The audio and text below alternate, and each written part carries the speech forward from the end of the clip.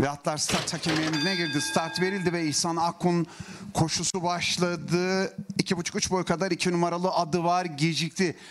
Dört numaralı tek çarem numarayı aldı ama dışından yüklenen bir numaralı Tuncer onun liderliğine son verip bin metre start yerine iki boy farkla önde geldi. Üçüncülüğe bir buçuk boy kadar geriden beş numaralı Alderemi'nin gayretleri var. İki boy kadar geride üç numaralı Çığ Güzeli dört boy geride altı numaralı Benzenci. Benzenci'nin de hemen dışından iki numaralı adı varın gayretleriyle 800'den çıktı atlar. Farkı üç boya kadar çıkarttı. Bir numaralı Tuncer var yer dibinde dört numaralı tek çarem.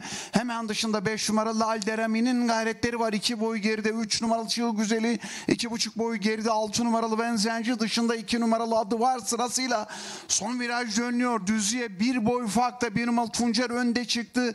Dışından 5 numaralı Alderem'in içinden 4 numaralı Tek Çarem 2 boy kadar geriden 3 numaralı Çığ Güzeli'nin gayretleri var. Son 300 metreye bir boy farkta bir numaralı Tuncer önde geldi içinden 3 numaralı Çığ Güzeli Tek Çarem atağa kalktılar Tuncer'i yakalıyorlar ve Çığ Güzeli hakim olmaya çalışıyor. Bunu başardı bir boy kadar Çığ Güzeli önde. İçeriden tek çarem saldırıyor.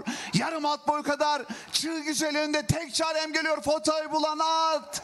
Yine kritik bir foto. 3 numaralı Çığ Güzeli mi 4 numaralı tek çarem mi kazandı? Varış hakemleri bildirecek. 1 numaralı Tuncer 3.